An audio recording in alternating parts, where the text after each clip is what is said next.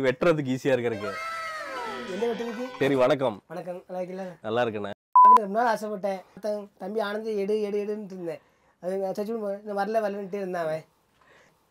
பிறந்ததுல இருந்து எப்படி வளர்ந்து ஆனீங்க? எனக்கு ரொம்ப சந்தோஷண்ணே. பெரிய பெரிய yell 'em. அப்படியே இருந்து.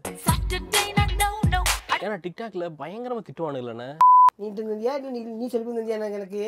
போல லூசு நான் போடுவோம் சோழியே போடல ஆமா அந்த நேரத்துல வந்து நான் வந்து எல்லா ஜாமானையும்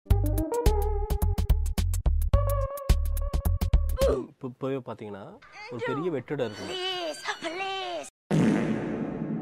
நீங்க சொல்லிடுவாங்க ஆ நீங்க ஜிப்பு முத்து சம்சாரமா? சொல்லி தாங்க எனக்கு பயம் இருக்கு எப்ப நான் வாழ்க்கையில சரிடா திரும்பிடுச்சுன்னு எப்ப நம்பிக்கை வந்துச்சுன்னு? இந்த மாதிரி நான் ஸ்டிடில் வரும்னு நான் நான் நினச்சி விட வாழ பார்க்கல. உங்களுக்கு சோலி முடிஞ்சது. முடிஞ்சு.